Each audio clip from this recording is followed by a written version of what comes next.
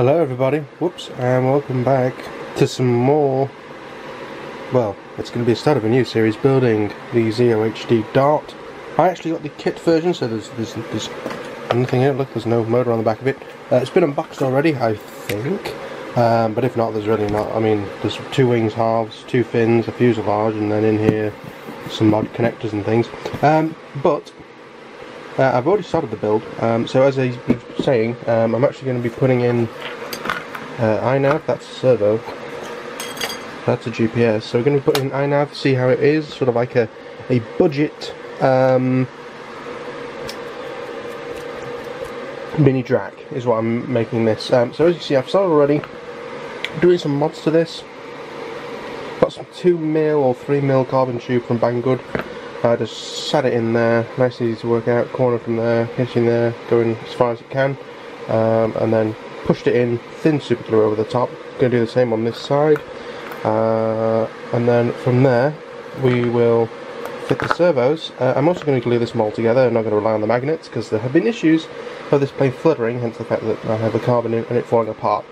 Um, but yeah, we'll stick all that together, and then we should be fine. Okay, so the servos are in. These are the long cabled um, 5 gram servos that are spares for the Micro Sky Hunter because things such as that's might oh that's might be it.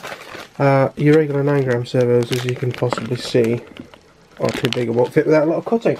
I've also moved on to the flight controller as well. Uh, I'm going to be running iNav on this so I've got my throttle cable, two servo ones, so that goes into one, that goes into three, that goes into four, which is really strange as a Futaba guy, that's very back to front. Uh, and you got PPM in on one, so actually no, that's on one, that's on two, that's on four, and that's on five, I think. Um, but yeah, that's going on to our EasyUHF Nano receiver. Um, haven't got the cables on yet for the um, video stuff because I'm waiting for Matt Osborne's video until where I get to it in the series about putting them on, um, where he actually does the soldering, so I'm not 100% sure how to do it. Uh, the next one I'm going to be watching is on how to put this on, but I'm probably not going to do that until I know where things are going.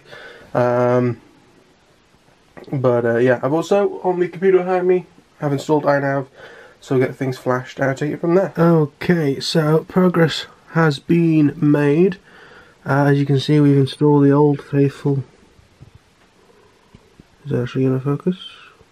Plus, it up that's an MN2206 2000 kVt motor on there. Um, and I've borrowed the speed controller, which is just a 30 amp BL Heli and a 3 amp BEC out of the Micro Sky Hunter. Um, so that's just going to go under there, and that can go wherever up here.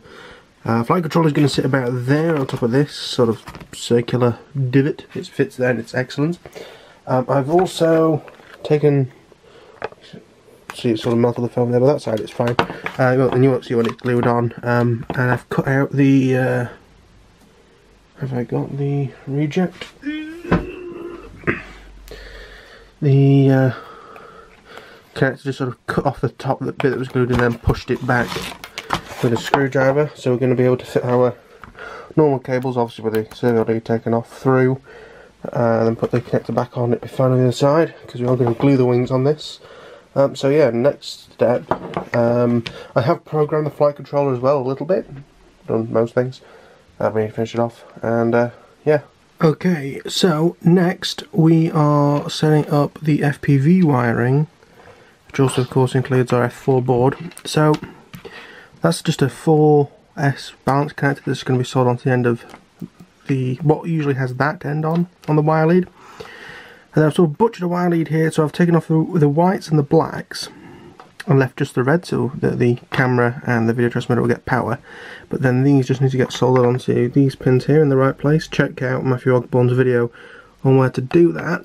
Um, and then after that we're going to look at installing the sort of power wires.